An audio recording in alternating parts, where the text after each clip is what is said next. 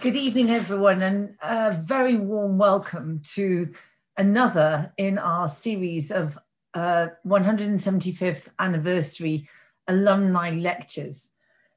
It gives me great pleasure to welcome uh, very distinguished panelists this evening and also to thank the sponsors of the event, Irwin Mitchell. And I will first of all introduce James, who is partner and head of rural business and estates practice, who are kindly sponsoring the event. And James acts for landed estates, trustees, and private individuals. He's clearly the man you need to know if you need to get yourself out of any trouble because he specializes in resolving difficult issues such as trust, property, and land use issues, whether in judicial review proceedings before the Supreme Court or behind closed doors or at any spectrum on the in between that.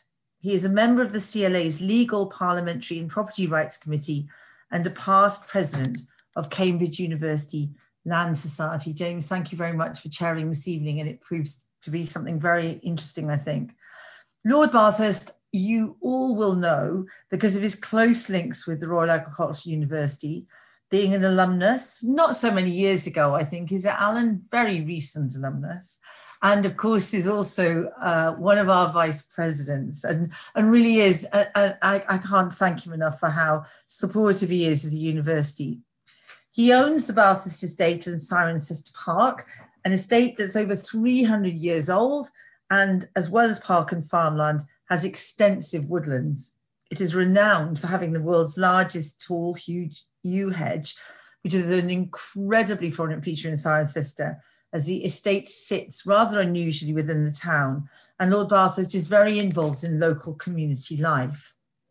Victoria, it's always a great pleasure to meet you as well. Victoria's home in Cornwall. I hope I'm going to pronounce this correctly, but coming from Wales, I should be able to, shouldn't I? Because we have many similarities in our in our dialects.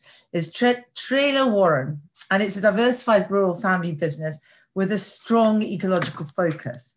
The business includes some tenanted and some in-hand agricultural land, a lowland heath restoration project, woodland, a tourism business, and off-site building projects.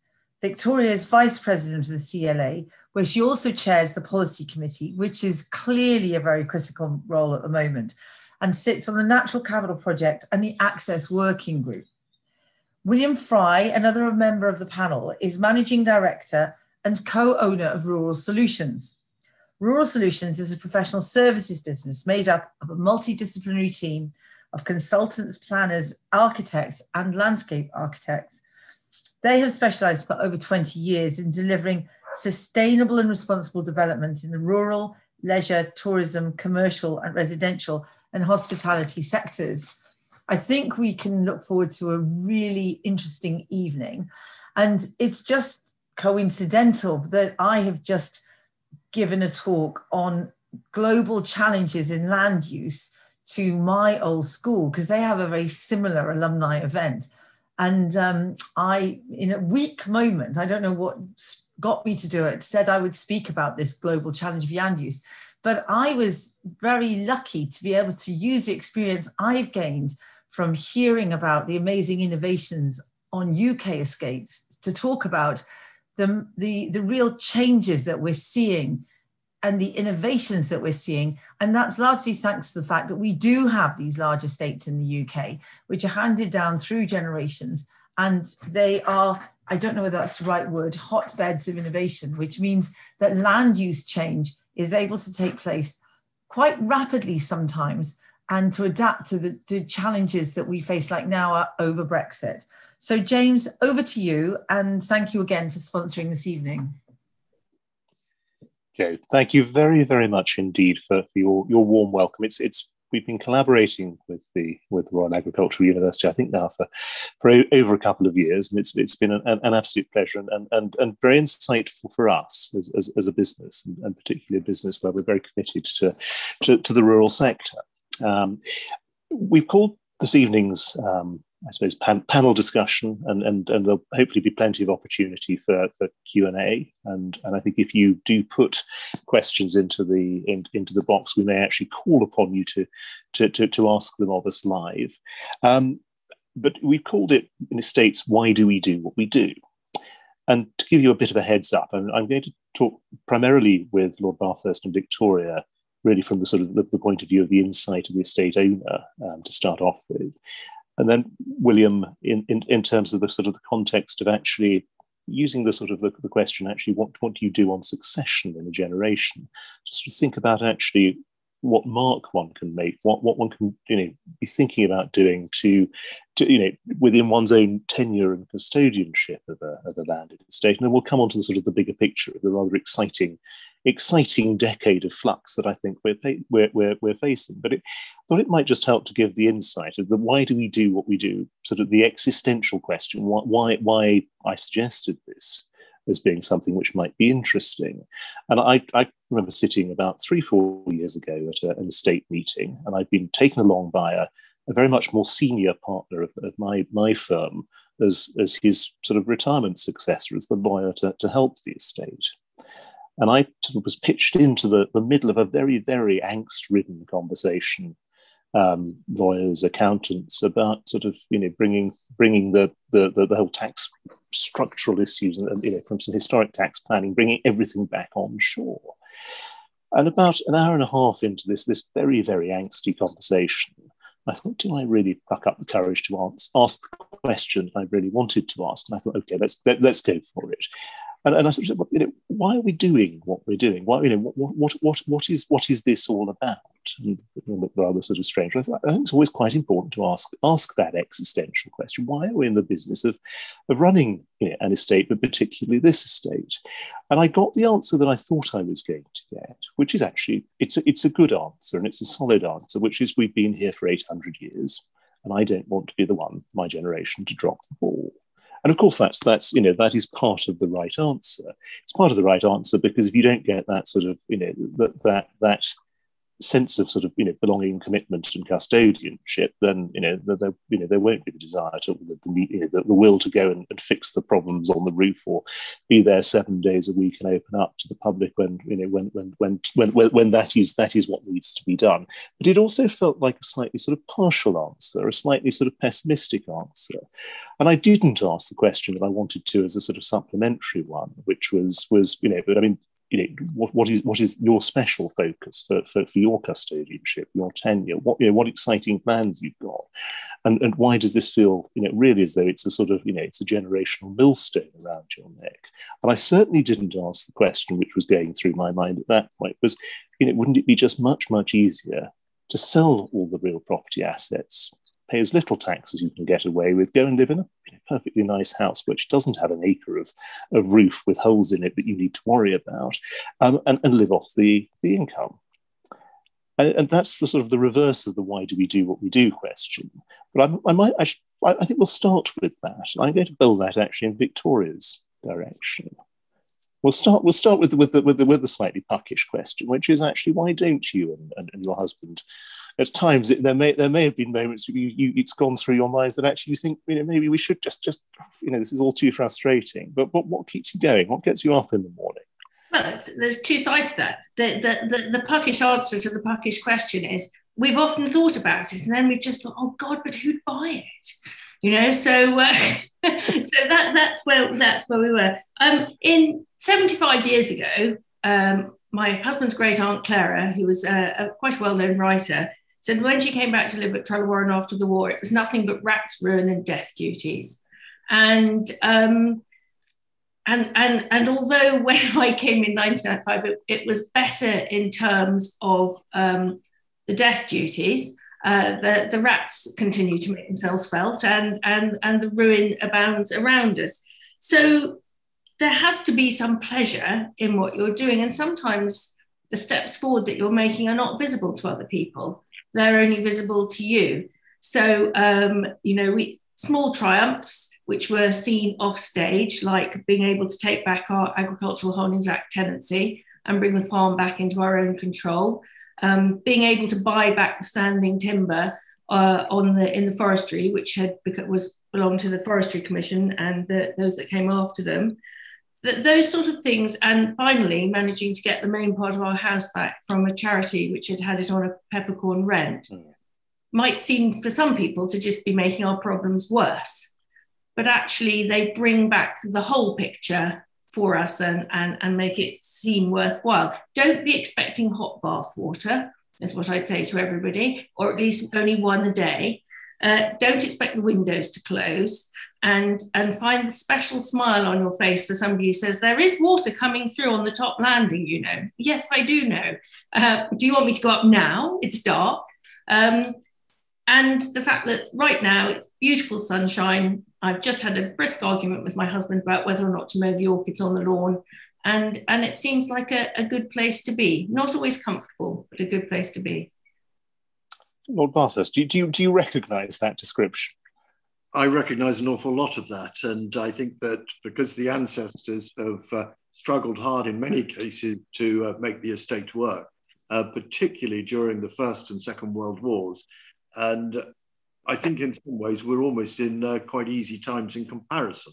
But saying that, um, life is not necessarily that easy for larger states, particularly with uh, some of the uh, taxation that's uh, that's there. But it's nothing like what it was in the 60s uh, and 70s. Uh, saying that, I think that we want to, well, my ambition certainly is to try and hand things on in a better state than I inherited them in the first place. Now, I should just be clear about that when I say inherited. Um, we have a fairly complicated set of different trusts set up, uh, which is obviously they're designed to protect the estate to a certain extent, but with it become uh, various other problems which we can or can't go into later on. And so that was really my sort of driving thing is to try and hand it over in better condition than I inherited it, and if I can use that word, inherited. So that's what I think the driving ambition is is there. And, and how, how did you come to it? I mean, was it was it a succession of, of eldest son to eldest son to eldest son, and and did you get a lot of a lot of sort of advance warning and an opportunity to, to, to train for it? I suppose. Uh, it has largely been that, although we skipped a generation because my grandfather was killed in the Second World War, so it moved straight on to my father, who was a miner at the time. And then he set up trusts in the 60s. And uh, from there, there were various different beneficiaries, and you know we're going to get complicated, which we probably don't want to just at this stage. Um, and so yes, it's gone through that, and then I'm looking to try and move things on, and have moved an awful lot on to my son, whom I believe is uh, listening at the moment, trying to make the best use of the inheritance tax um, that's, uh, that are available at present. And Victoria, I mean, did, did you did you come to it from a from a similar background, or was was this something you had to had to learn, if I could put it that way? Well, um, I certainly come from a very rural background. I grew up on Dartmoor. Um, so my husband married out, uh, as we, he's from Cornwall, quite unusual, but you need to do it every now and then. Um, and um, so, yes, in the respect of being used to living a rural life, and certainly in respect of, of living in cold and drafty houses, but I think neither of us had been, we weren't particularly properly prepared. He just finished a short service commission in the army, and I just completed my history degree. So obviously, we were perfectly suited for uh, and trained for coming to, to, to run Trelowarren. And, and his father was a bit older, so he wanted to retire straight away. But we had all of the advantages of the thick skin of being 23 and 21 and, and, thinking we could probably conquer the world. It turned out to be an awful lot more difficult, I think, than we expected. Um, but we have been able to pursue our individual interests, and uh, particularly in environment and the ecology of the estate, and uh, uh, and just generally having a almost a platform for developing the things that became our interests. And I mean, Lord Bathurst has said that actually, I think his, his father in the 60s put a lot into trust. I mean, are you grappling with you know some of the estate in sole ownership, some in trust, some in an estate company, or how how, how is Trelowarren held? Um, they, the, Vyvyans take a, a certain amount of, of, mistaken pride, I think, in the fact that they've they've never put anything in trust except for um, I think um, Richard Rawlinson Vyvyan had the estate in trust because he was a minor. And that has strengths and weaknesses. The person who takes it on takes it on, warts and all.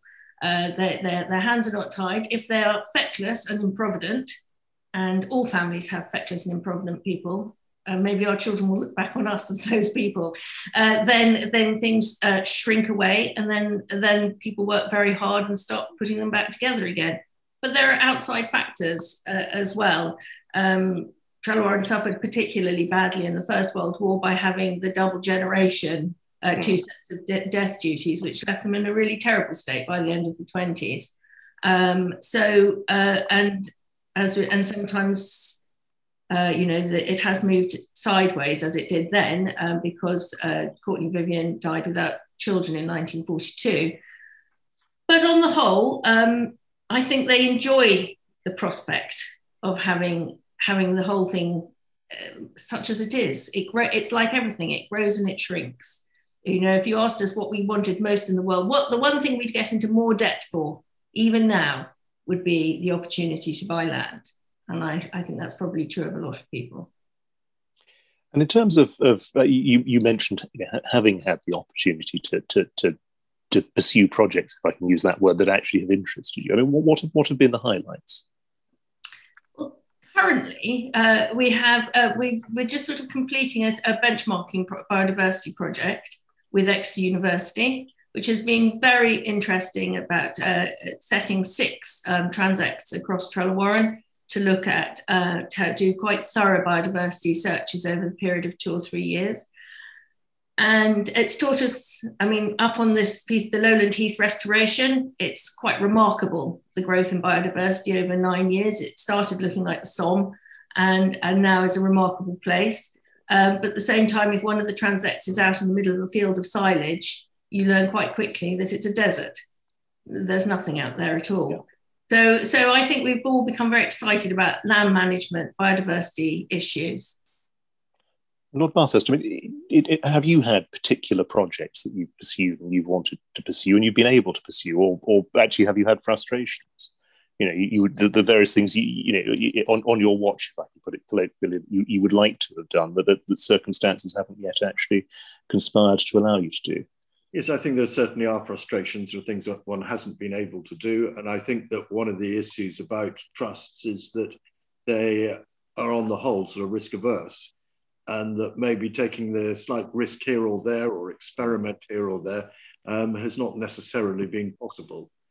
Um, but there are some exciting projects that we've uh, moved forward through. And again, it's the biodiversity ones that come through. And it's marvelous to see the orchids, if uh, Victoria hasn't gone and mown them coming through in various uh, fields which you've left. Um, and the different wildlife, and I've seen a lot more uh, butterfly orchids coming through in the place I've never seen them this year, and it's it's lovely to see. We've got uh, different birds of prey turning up as well, um, so there really is quite a lot going on. And your employer, your the, the estate is is you know, I mean, is, is, is there in, in Cirencester? I mean, perhaps I put it this way. I mean, how, how do you, I mean, your, your, your role in the local community, your role for the local community, how do, how do you, how do you, how do you feel that? How, how would you articulate that? I think in many ways that um, all estates should have a role within the rural community. Now, being in Cirencester, we are very much in the community. Um, and I pick up bits and pieces going on just as the fourth Earl Bathurst did uh, back in uh, 1845 with the setting up of the uh, Royal Agricultural College at the time. And uh, the family has always felt very close to the uh, community um, in uh, enabling people to use the park, walking and riding in it um, for free. And that's carried on right the way down through the generations. And when you walk around the town and get to know a little bit about the history, it's amazing how many things have been given to the town by the family over the years. So I, I think it's a very important part of uh, a role as a, as a major landowner and estate owner within the, within the community. Victoria, is, is Trelowarren sort of you know backed into into a village in, in, in Cornwall, or are, are you in glorious isolation? You know, you, uh, the Cornish are notoriously clannish, so their whole community is the nation state that is Cornwall in, in mm. the first place. And, and just for a slightly different glance, I think one community that uh, uh, the Cornish feel very strongly about is the one that's associated with what happens under the ground. Uh, that so the mineral estate is is is there and is very much of interest to everybody at the moment with uh, the growth and interest in lithium, which is held in brine in the mines, and real potential of, of reopening mines in in um, Camborne, and, and that opens up some has the potential to open up friction between older, not old in age, but the older Cornish community and people who, who want to be in Cornwall and don't associate it with its very industrial past. Mm. Um, uh, so the planning permissions for, for reopening the mines are relatively contentious, although obviously there are a lot of um, very thorough processes now to make it a, a, green, a greener interest. So, so I think there's a, there's a big historical community in Cornwall. People feel very attached to each other, uh, not just within um, within their kind of local village communities. Although somebody will always tell you if they're from um, Helston or Porthleven or if they're from Penzance or Newlyn, it makes a difference. Indeed, and presu- presumably last year, this year, a, a, good time to be running running a holiday business, holiday let business in, in Cornwall. Yes, I think the COVID kindness dividend has been hmm. spent, mm. judging by last weekend. um, so uh, um, everybody was frightfully nice to each other last year. We could not do enough to help each other out. And, and there's been a little bit of the uh, rearing of, of, of, of, crossness going on. But, but actually, it, it's, it's been a pleasure to be the place where people finally, when they were let out last year, could go to you know what you know they people was just so delighted some people said what on earth do we do we always go to italy what do we do in cornwall and i said well i think it's kind of a thermos flask and the beach this year you know not a lot of high living. No, I mean, I, I, I, I, I followed exactly that path and went fishing at the Arundel Arms, and I appreciate that, that is that is the other side of the Tamar, and and went went bodyboarding for the first time, which delighted my 11 year old daughter, and it was an absolutely absolutely fabulous fabulous holiday. I mean, just I mean, do, do, are you expecting? I mean, e- even if the, um, the the, sort of you know a certain amount of this might might have been spent. I mean, are you are you expecting 2022 to to to see see similar amounts of interest? Oh, I, I, um, 2021 is uh, a short year because, of course, we didn't open until April the 12th but we are booked pretty much solid to the end of October. I think people are kind of longing to go abroad. I mean, some people keep telling me, you know, it's going to be like this for five years, and my cautious nature tells me um, to, uh, to, to, to be prepared for everything to start dropping back over the next two or three years, depending on how many, you know, whether or not people can go on holiday. I think turning then to, to the, to, the, second thing I wanted to, to discuss, and, and, and, and, William, I'm going to address this, this to you. Coming back to the, what, why do we do what we do? I mean, you probably above, above, above anybody I, I know as, as, a fellow professional, uh, you know, will, will be called upon to, to, to, you know, to answer the very precise question. You've got, you've got a, a generational change on an estate you've got the enthusiasm, you've got the naivety, perhaps the everything that sort of you know, is, is is there to be to be harnessed, you know, coming in, in into taking on the burden. You know, you're confronted. You're sitting sitting at that meeting. You know, what what what are the what are the, the prime considerations? What do you what, what are you what are you going to sort of you know lead off off on? in terms of managing expectations, in terms of, of, of helping people to, to, to actually realize a, a, a you know, a, a, plan that is achievable, but that also doesn't suffer from, from, from that, that point of, of sort of pessimism, as I put it, that actually, you know, yeah. that, that does inspire people. Thanks, James. Um, good evening, everybody. I think it's every case is different, and and there are people that come to us are people have blank sheets of paper. We, we, we need to do something. We feel we need to do something. We have people, clients come to us that have already put their toe in the water and, and, and, and done a few things. Um, and others that already have established businesses and want to think about how they sustain that business going forward or perhaps change that, add on. I think, particularly in succession, one of the, the, the, the key burdens that people feel is we want to start the process of diversification. And I've just taken over, and I've got to show that I can do it. I've got to put the I've got to put the ball quickly in the back of the net. So I think our job is is actually to try and manage that thinking and to create a roadmap in terms of what order you think about things and how you approach things. And often that anxiety is not only through that willingness and, and that keenness to be successful, but it's also a little bit around goodness, we've missed the boat. We've not diversified, and everybody else has. And you know, there are eight farm shops in the local area. What, what, what are we going to do? And I think that there are a number of ways of actually looking at diversification. But I think the starting point is, is to say, actually, lucky thing, lucky you, you haven't diversified yet. Because I've been involved in diversification development in the countryside for 20, 22 years.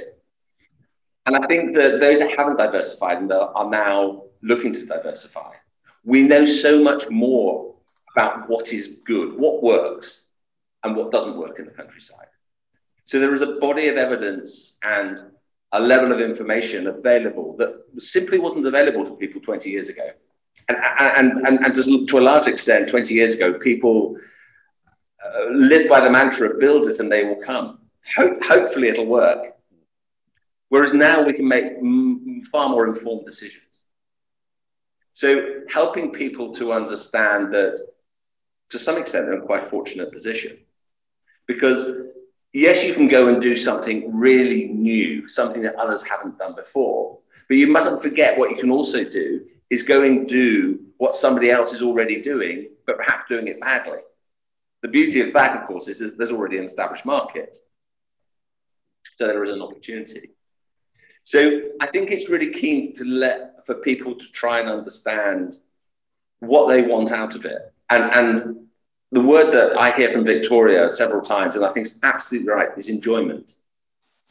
And I think key to this is enjoyment. You have to be doing something that you, you want to do that is of interest to you. It's going to get you up in the morning with some energy and say, right, let's let's go and deliver this next bit today.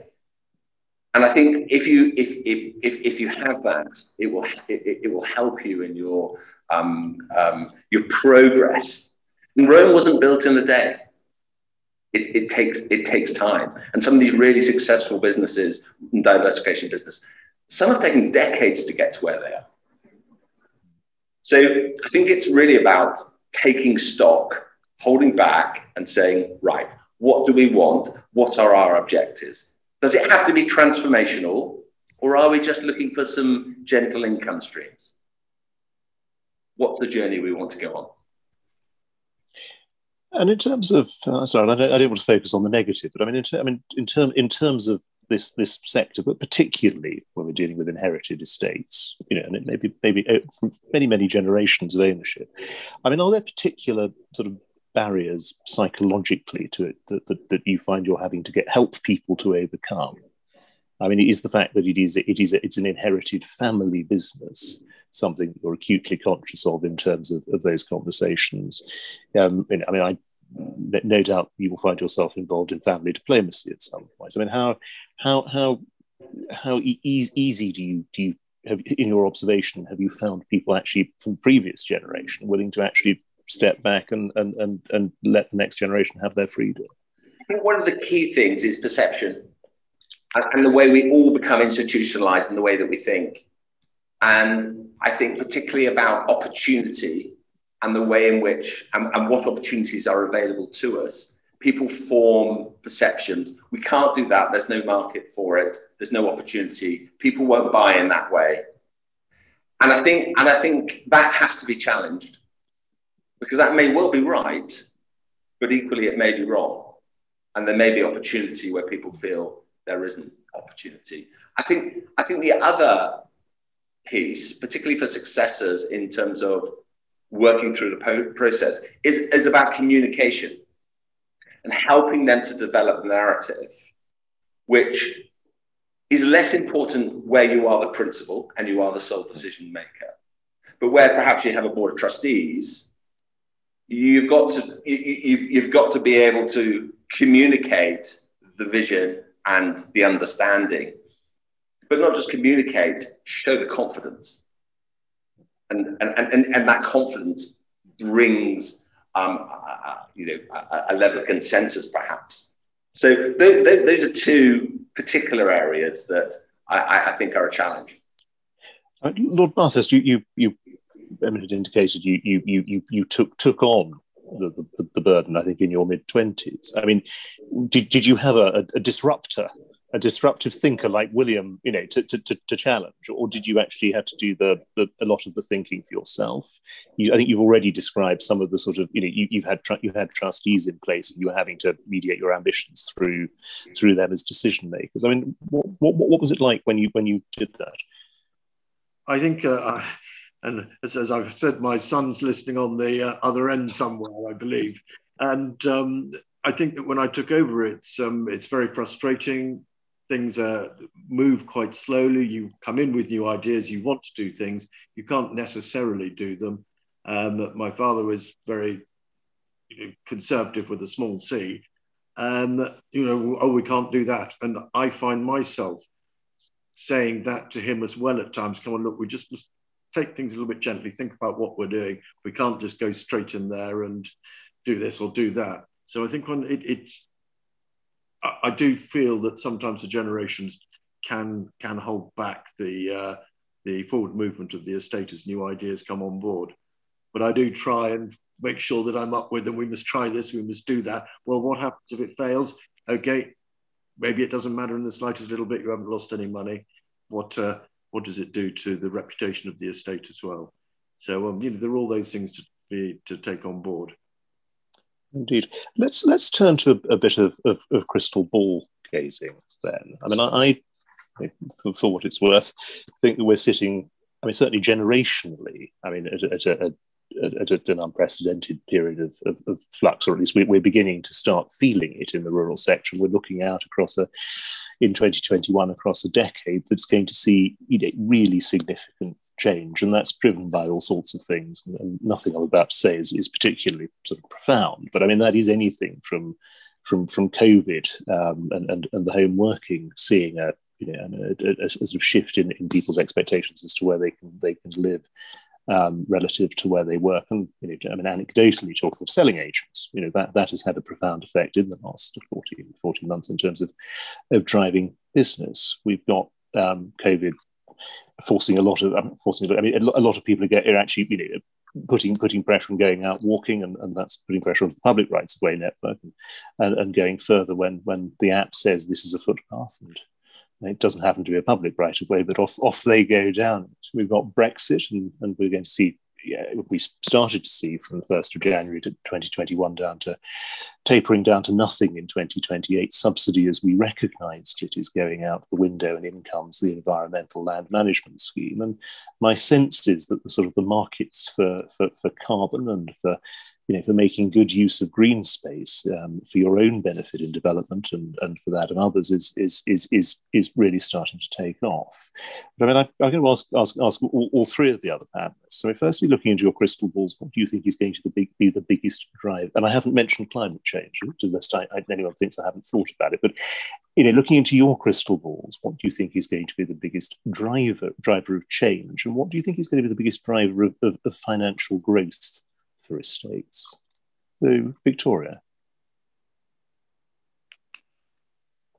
Well, there, there are obviously opportunities in the world of biodiversity net gain and in carbon markets. The carbon market, although it exists, is, is, is it's a, it's a slightly premature child at the moment. And it's quite hard for um, estates and farms and land managers to really understand how that carbon market is going to work out for them over the next 15, 20, 30 years. And I think there are two crucial aspects to that that we see at the moment. Um, one of them is that it's quite possible that the market price will go up considerably for carbon. So it might be the case that the early adopter uh, gets um, stuck with a quite a low price for their carbon uh, credit, but also um, it's a bit complicated if you've sold uh, all of your sequestered carbon to Qantas and it turns out that you need it yourself. So if you're actually farming on your estate as well, uh, and it, and the pressure comes to um, to actually count your own carbon and, and, and mitigate your own carbon output, it might be rather, rather unfortunate if you sold it at a low price and you have to buy it at a high price. So I, I think that that's one market which everybody is looking at like a, a bird with a worm. Um, and and but the biodiversity is a more I think it's really hard for people to understand how fragile and complex ecologies are. It is not going to be easy to rebuild our fragile ecologies. It's going to be complex, it's going to take a lot of work. And some of the steps in the right direction with the tree policy, uh, the English Tree Action Plan, are in the right direction, but there are huge problems there. We have no skilled workforce to come and plant our trees. And I understand from a meeting I was at the other day, they've just taken kind of practical day to day tree planting skills rather than silviculture degrees off the City and Guilds list. So, you know, we've got these things pulling in completely direct different directions, but those are those are two of the really interesting things. And, and then finally, there is this question about which is just coming up the political agenda who should have access to the land? How should they access the land? How do we balance that access to the land with the demands and the needs of the natural world? And that again is, is, is a really hot topic and it's not black and white, it's not simple, but people don't like complex arguments. They like bilateral decisions about things. So there's like more, way more than two things and public access, as we as we all know, is something which can certainly sort of certainly crystallize black and white views and quite strong ones well, at, at that. It, yeah. I really do have a view that what we have to do, and this is really with my CLA hat, is find a way for our members to de-stress what is actually a very, very stressful situation for a lot of people. You know, there has to be there are ways to do that, and, and organizations need to work towards less confrontation and more understanding about how we can de-stress it. Yeah, and it's I mean it's a it's an area of the law that I specialised in for actually I, I, was really for the entirety of my career I was had dumped on me as a trainee a, a very big public rights way case that ran for about a sort of 11 12 years with with ramblers sort of pitch battle, as it were. But it, I mean, I've I've certainly been thinking about that, and there are you know there are some very very entrenched views. Uh, we can do probably more. To, I mean, this is me wearing my CLA hat as well. Actually, I mean, you know, we can we can do more to, to change to change views helpfully on our side than we can necessarily on on if you like the other side of the argument. But I mean, actually, the, the persuasive case for, for, for permissive access and maybe the, the, the, the, way in which it is persuasive is actually is just the public voting with their feet. Um, you know, in a sense, rather rather than having to, to persuade those who, who are approaching the argument with a, with a lot of of political baggage and a lot of very old political baggage is, is, is the way forward. And I think it, you know, in part one's, one's seen quite a lot of that happening in, in the last sort of 12, um, 12, 15 months or so. William, just coming back to my, my question, what's the biggest biggest driver of change you identify? And, and is that the same as something that's going to drive growth for estates? I, I think I, would quite like to just link back with an earlier question that you that you asked in relation to what does 2022 and beyond hmm. mean. And I think I think 2022 and beyond is going to give us some fascinating feedback the, the consumers and the consumers that are being exposed to our product in the countryside and the, for all the broad church of things that we that we all do, the consumers are going to tell us how good we are at it. Because actually, if that awareness exists, if, if people are engaged and people are tempted, they will come back. Now, they may change their characteristics in the way in which they engage with that product. We see it in the, um, the short term stay um, accommodation, where, where people are are, are, are more um, um, in, in, in, taking, in, take, in, te- in taking more numerous breaks than taking longer, longer breaks. Natural capital um, and the whole environmental, I agree with Victoria. It's very early on the carbon piece. I think where is the short-term opportunity in that sector? I think it's biodiversity net gain. Um, and I think that biodiversity net gain will be, the opportunities will be regional. They will certainly be opportunities where local authorities um, are, are willing participants and, and, and indeed where there is potentially quite sizable housing growth going on. So some will benefit from that, others will have less of an opportunity. But I think the, the, the, the broader shift that I see in the sector, which I think is unbelievably exciting, and this was happening pre pandemic, there's no doubt about that, is the growing awareness of the value of the countryside. And if I can put to one side just for a second the, the, the, the obvious issues and the contentions around access and, and, and how we protect and nurture and uh, uh um, uh, develop the, uh, our, our environment and reinstall our environment as we all wish to do. But the awareness of the public around physical well-being, around mental health, mm. and, and around space and, and, I think that that awareness has, has, has given, a, given the public a new lens in which they look, look at, the, at the countryside. So where do I see that great opportunity? Yes, there are specific areas, but I think actually the great, the great opportunity is the widening of our customer base. And it's, and it's up to us to service that customer base. But boy, is it an opportunity.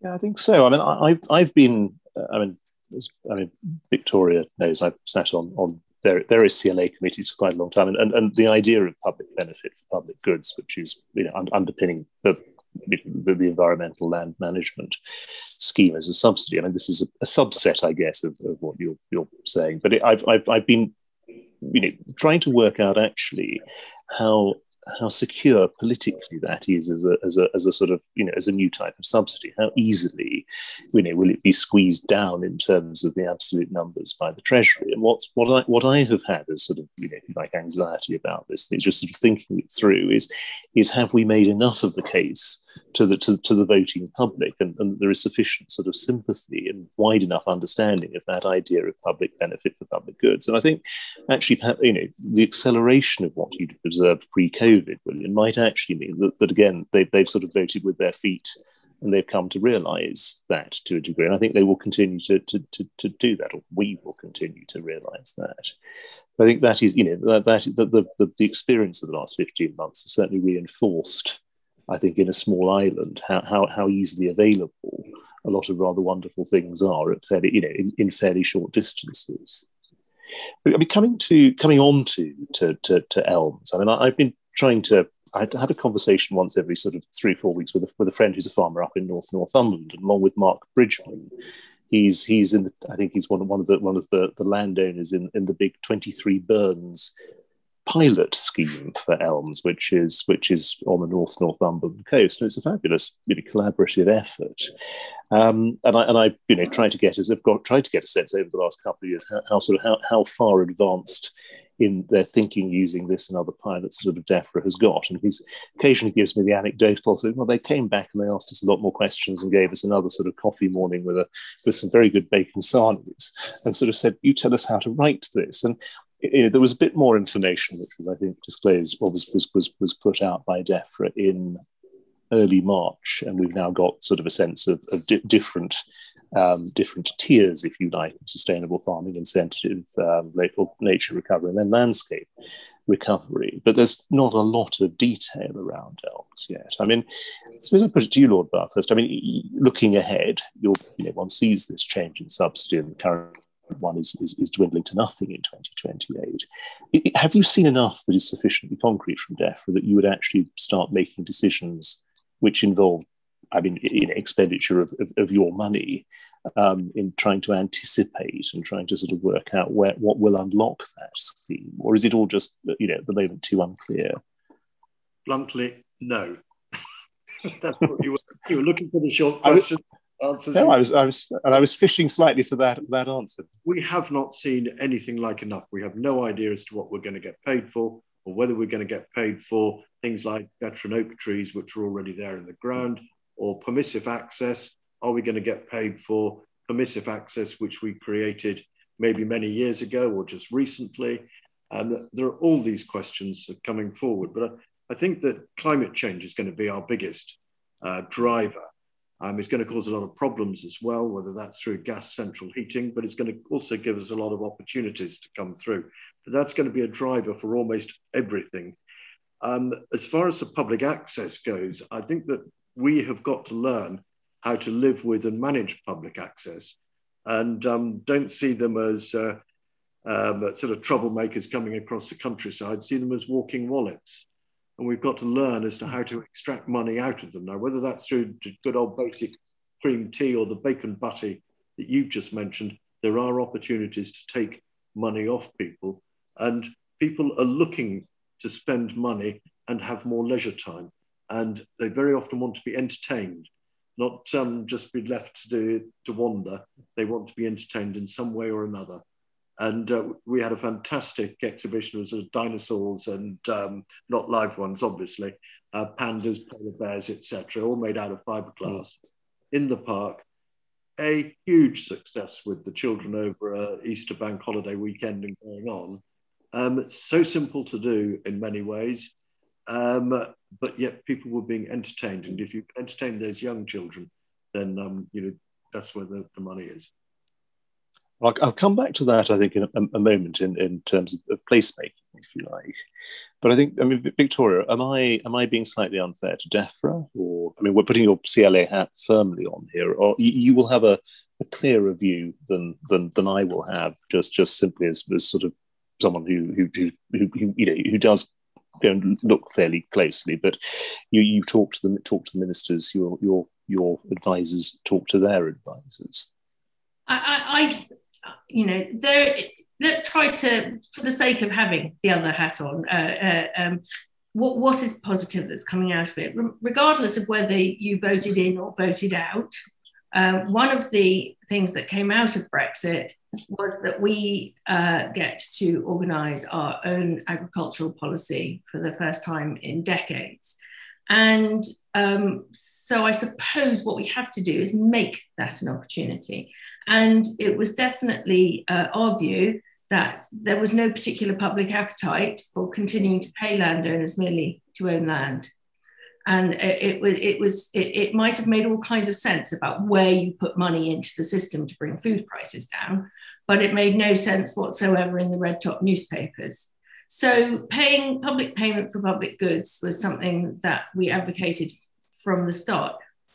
I think if we were still in europe this is something the common agricultural policy is struggling with now uh, it'll struggle with it longer than us, obviously, because it's a great big unwieldy uh, organisation and we're smaller and more agile. And Wales and Scotland should be even smaller and more agile than we are in, in this respect. It is quite hard. I'm trying to be generous about it. It is quite hard to reinvent the wheel. Um, so but everything is always happening slightly too slowly, and, and maybe um, we were always saying um, to DEFRA, you know, farmers are making long-term plans, land managers are making long-term plans. It's no good telling me in September what I need to have ready for the following May because it's just too late. So um, and and the few standards that have come out um, haven't quite been backed up. There are there aren't standards in the pilots for um, uplands, and, and there is quite an outcry about that. I don't think, I remember right at the beginning of this process, a very well known um, uh, uh, farm manager of a very large estate said, I'm going to be asking a lot of people a lot of very expensive advice about this. And I'm going to put my finger in the air now and say, it's going to be about 50%. And I'm going to be interested to look at the end and think whether, uh, you know, everybody wasted their money on all that consultation because it turns out to be about 50%. Um, and that's going to be hard and it's going to throw up a lot of complicated situations. Um, maybe for your listeners, it, will be of interest as well in the landlord and tenant um, relationships. I think that, that that'll be a, a pinch point that we're going to have to work quite hard on. And before we come on to our first question from John Hoy, I just wanted William to ask the sort of similar question. I mean, in terms of those you are advising, if they sort of say to you, look, you know, eh, the, the concept of ELMS has been fleshed out, we've got a sort of an idea, you know, permissive access might be something which you could take a punt on because it actually might help to you know to, to, to add what, to what you're doing and bring people in. But is there anything else that, that is that you you know that one can be doing now, which which which is which is a sort of reasonable bet with your money in anticipation of of, of the subsidy being more fully explained? Not an area of particular specialisation. What for me, but what what I would say is, I think during this period, which Lord Bathurst and Victoria have quite rightly talked about, which is a, a sort of a, a holding period until we know a bit more I think don't sit on your hands. What can you be doing at the moment? And I think that the, the big thing you should be doing at the moment is understanding what you've got.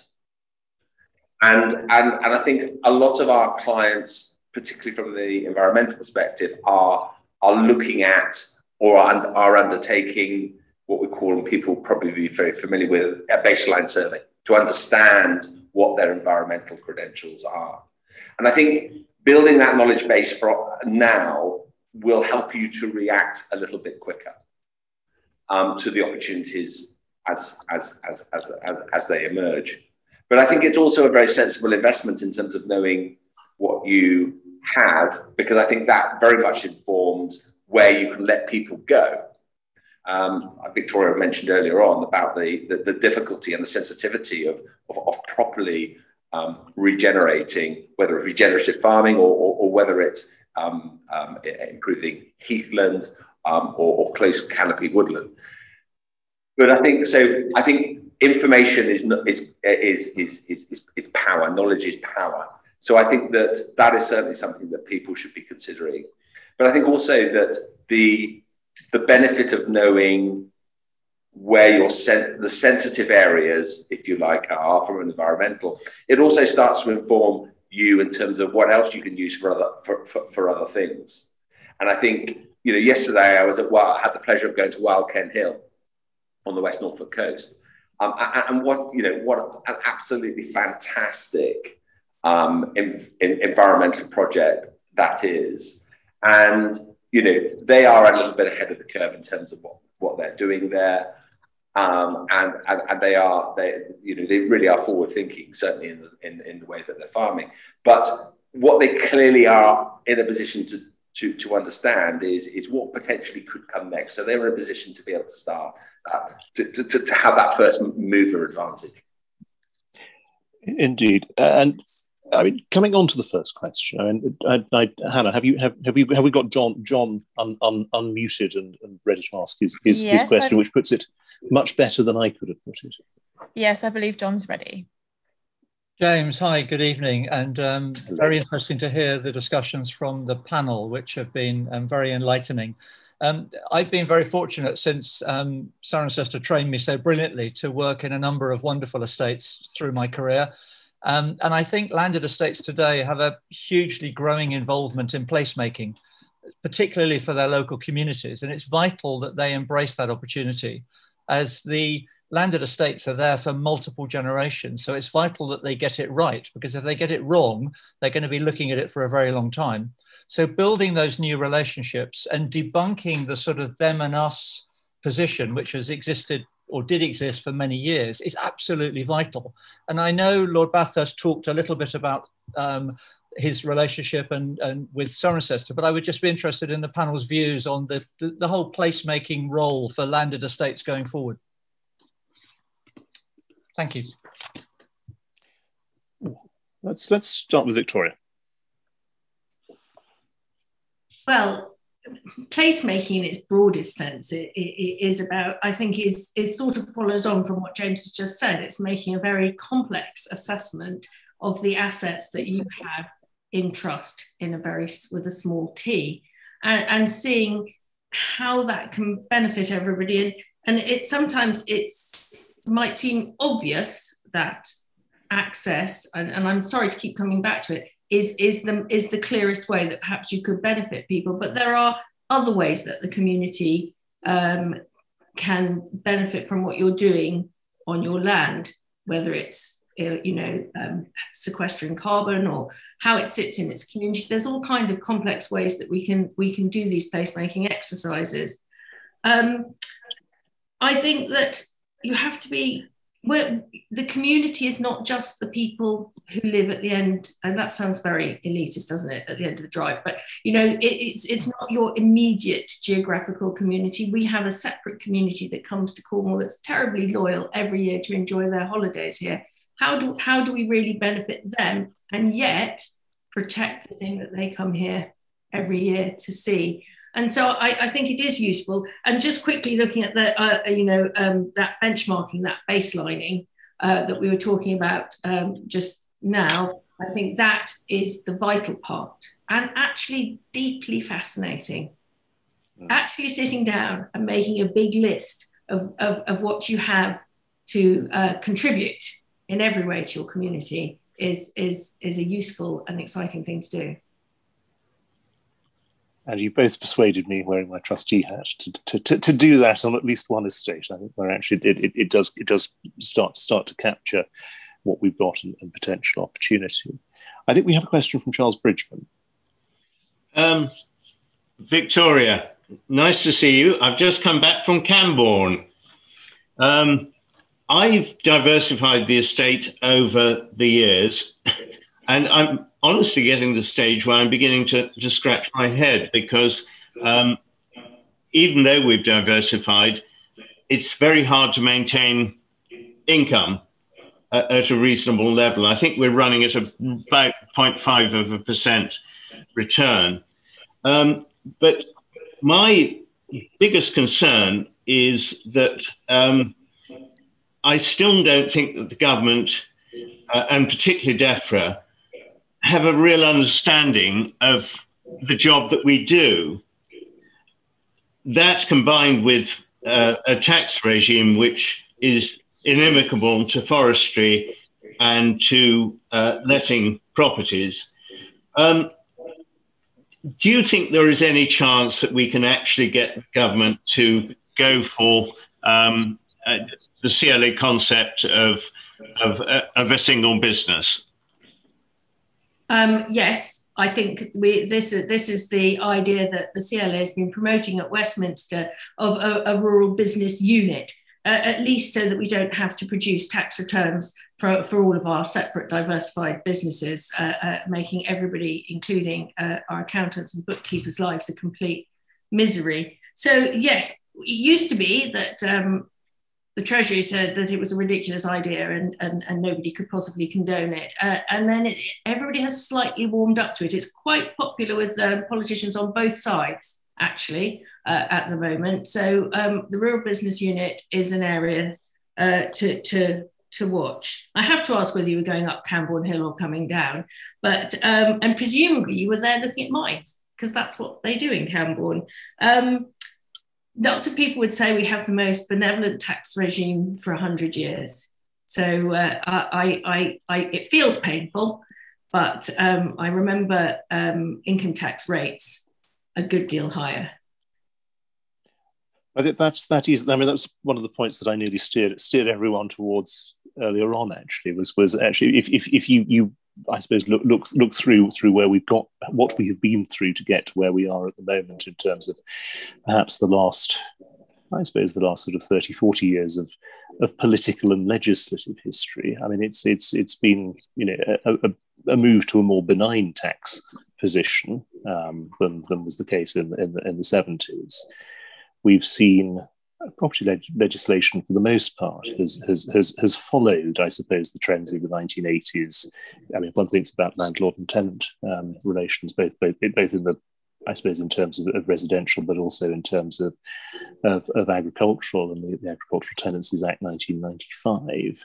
I suppose what we have seen with the residential, the high point of, of, of free free market um, landlord and tenant relationships was 1996 with the, the introduction of the short short hold tenancy and, and, and, the free the freedom to get repossessed, you know, to, to, to, seek repossession has been, I suppose, steadily eroded, if I can put it in political terms, or, or circumscribed, if I can describe it as a lawyer.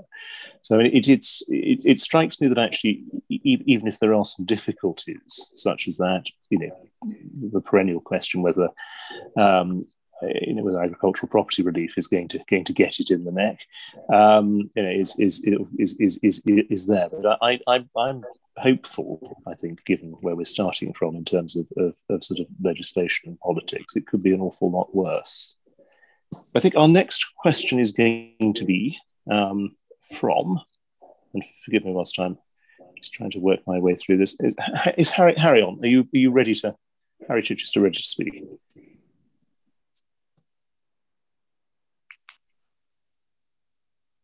Harry, do you want to fire away? Oh, okay. Let's see whether I can. Because very kindly, everyone had been had, had, tabled written questions. So what I'm going to try and do is is very quickly go back. The, the, the questions that was put in writing is for the next generation of estate successors. It can feel more of a burden rather than a joy and privilege. Wealth taxes, inheritance tax, uncertainty in agriculture. And do the panelists have any advice and encouragement for those taking estates on? I mean, Lord Bathurst, what would you have said to yourself, age 26?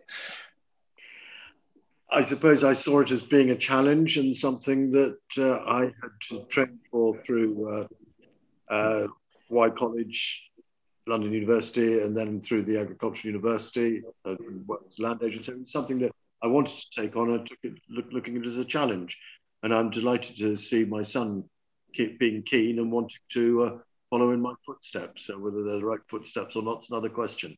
Um, but it, it is going to be daunting. It's not going to be easy. But again, First World War, Second World War, are we going to face something as dramatic as that? Um, we'll find a way through. I'm, I'm sure. I'm sure.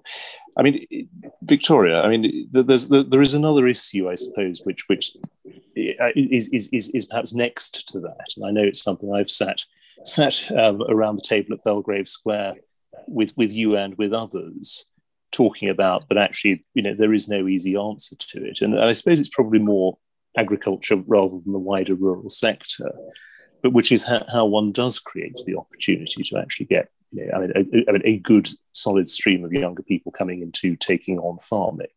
And I suppose the most recent thing we've seen is the golden, you know, the proposed golden handshake, which is being either being consulted on or the consultation from DEFRA's just finishing in terms of the, the, the subsidy runoff. But I mean, do you think from that point of view that that that is in, enough is being done both by government, but I suppose also by the CLA, NFU, and, and, and other other other organisations, which are member organisations, to um, you know to, to try and try and, and, address that that sort of that the, the the, the sort of generational issue almost from that point of view it's it's it's not uh, uh, there's a logjam of mm. exciting young people and excited young people who want to come into agriculture the the the revolution of regenerative agriculture is upon us.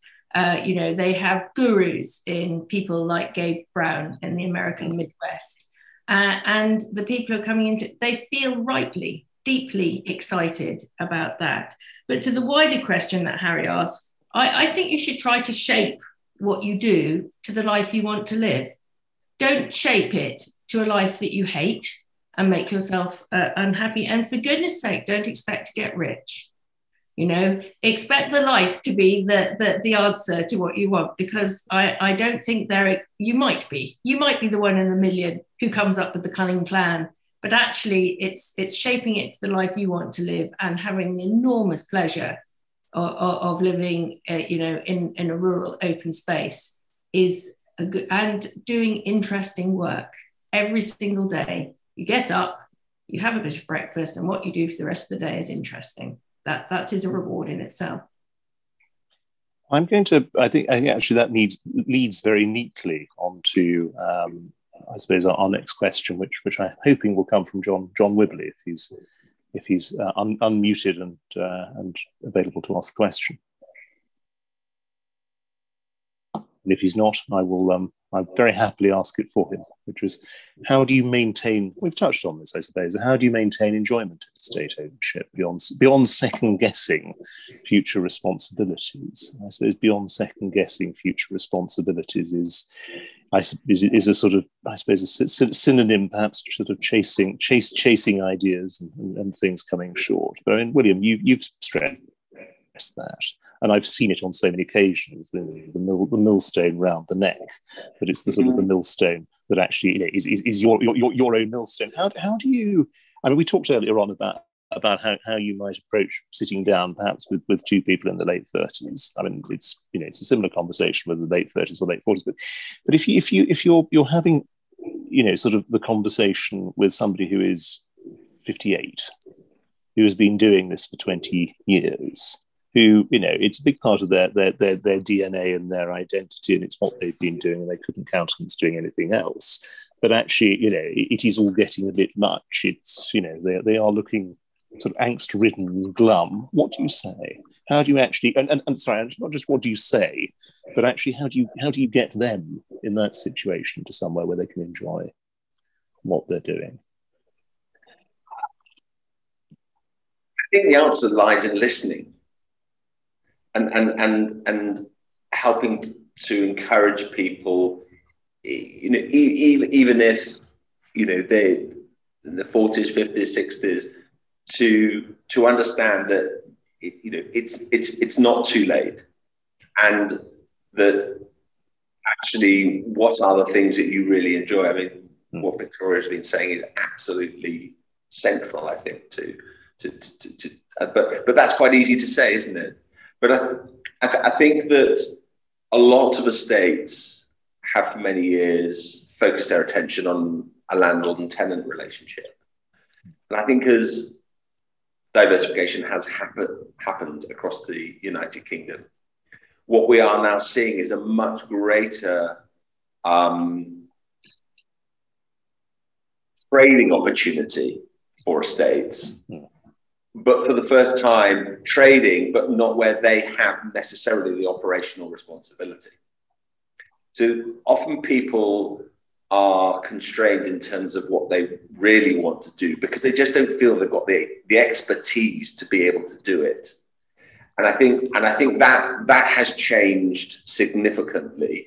And I've just seen over the last two or three years the sort of the, the scale of the recruitment market as, as people in leisure tourism, tourism hospitality. Mm. And I'm talking about sort of general managers, for example, who, who, who know what they're doing and know how to run these enterprises. They are available. They are, they are keen to work with um, new enterprises, existing enterprises. So I think I, I, I, think it's it's it's sort of getting people to again challenge perception, but within very much that definition of of, of, of, of what is going to work for you because you know diversification in the rural sector is is, is really a phenomenon for the majority in the last 15 years, something, something like that. It's still a relatively infant um, market marketplace, and there are many that have diversified decades ago. But I think I, I, I think that you know that that marketplace has has shifted things in a way that people should be encouraged to try and challenge their their their thinking and, and the ways in which particularly they deliver their opportunities, whether that's generating capital or whether that's that's generating revenue. William, thank you. And I think we have a question from Simeon. Hello, can everyone hear me? We can hear Hello? you perfectly. Hello. Great. Thank you for the useful talk so far. I had a quick question. How does an estate uh, normally reach out to foreign investors? Um, and I'm asking from the point of view of trying to increase, uh, let's say, the financial growth of the estate as a whole. We were talking about a return of 0.5% in some examples, but then also uh, just to get ideas from outside of English and UK borders to improve the way the estate is run. Thank you. William, do you, do you have experience of, of, of actually having those conversations in either direction? I think that one insight that I would share is the level of overseas investment in um, our leisure sector. And it's very interesting to see um, the level of transactions that have been going on in terms of um, farm parks, for example, um, visitor attractions that have been um, have been acquired over the last last 18 months. Um, and, and, and number of these companies see great opportunity in the United Kingdom. Um, and I think that it goes back to what one of the panelists saying earlier on about people. People want experiences. They want to do things when they when they come.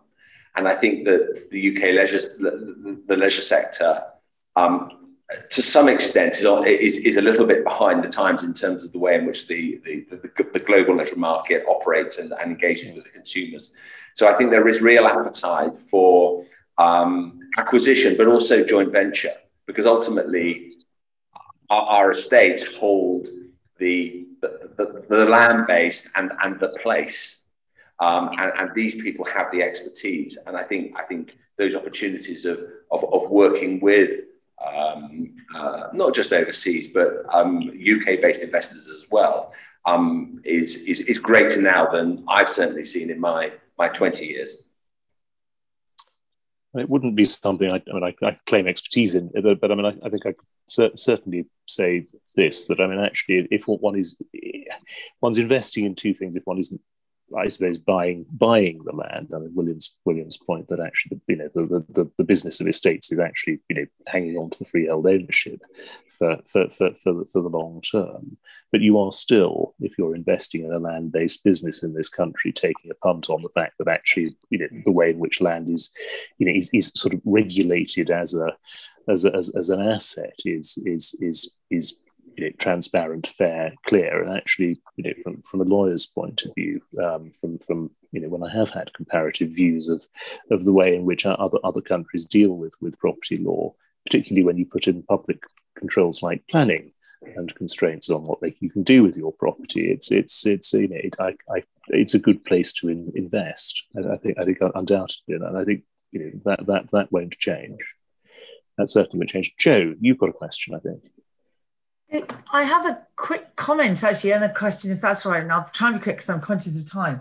But I think that um, it was mentioned earlier about you know getting more people into the sector. But something that struck me is that the government is very, very interested in developing local skills and local productivity. And I think there's a key piece of great messaging around what some of the estates are doing, particularly as the number of people being employed on some of the estates is going up as the diversification goes up, in actually working very closely with the LEPs in terms of trying to develop those skills agendas. And it's all part of the messaging about what the states can do, as I say, because of the tourism go up. I mean, desperate shortage of skills. And it could then hmm.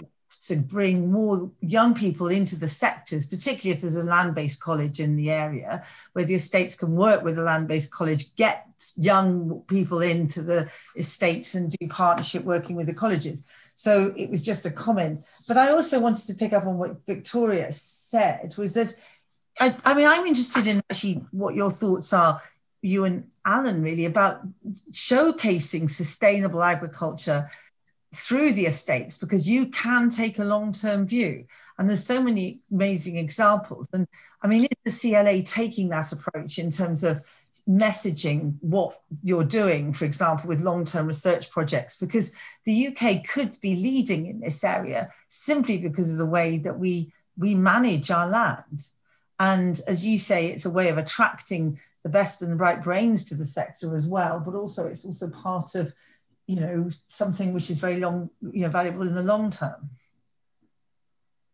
Um, I think that uh, just I'm going to quickly jump in, but I think uh, uh, on on uh, something that's been raised already, which is the pilot scheme called 23 Burns, which was a, a pilot scheme for the ELM project done by the president uh, Mark Bridgeman and a lot a lot of farms in his area in North Northumberland, and I think that will those are the kinds of um, projects which really do showcase not just what estates do but what estates and farms do and what farm clusters can achieve and what farm super clusters can achieve that I think it's quite a good idea to get away from the idea of estates and, and, and into the world of land management, management and collaborative land management.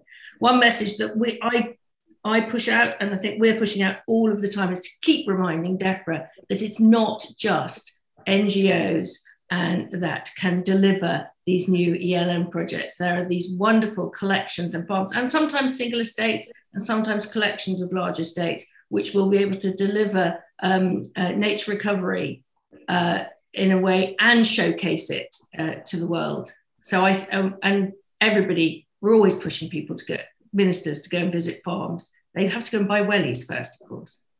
but, but, but I, I, was thinking that collaboratively, so much could be done in that biodiversity area where it's so complicated, as you say, in the carbon story, because working together, it'll be easier to navigate it, presumably. It's it's what's it's upscaling that's the the difficult thing. Where even if you put us all together into, into one carbon wonderful credit offer, the pension funds would sneer at us. So we do have to find ways of putting these things together and making them sellable, making them scalable. Uh, but it's it, it, I, I think we have a really strong story to tell about the contribution that the countryside can make, uh, you know, for the future.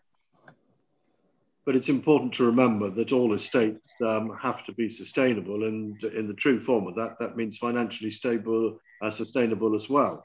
And it's all very well talking about uh, regenerative agriculture and various other forms, but unless there is some money coming out of it at the end of the day, then uh, it's not going to be sustainable. I think that the timing is absolutely perfect and bang on quarter past seven.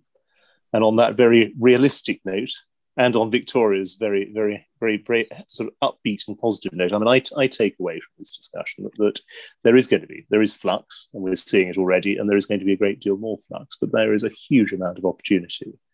Um, and there is a huge amount of opportunity for, I mean, for, for, for those who are engaged in land management and, and running these businesses, those of us who actually, you know, who, who, who, from a professional standpoint, hope to bring some value to those who are, who are our clients. And actually, there's an enormous opportunity for the British public to actually come and enjoy the British countryside. Um, and there's an awful lot that is that is going to going to draw um, draw them to it.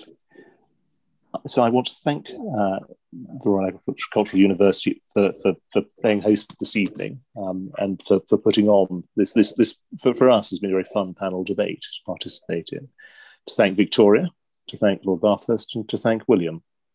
And on that note, I'll say good night. Thank you very much. Thank you.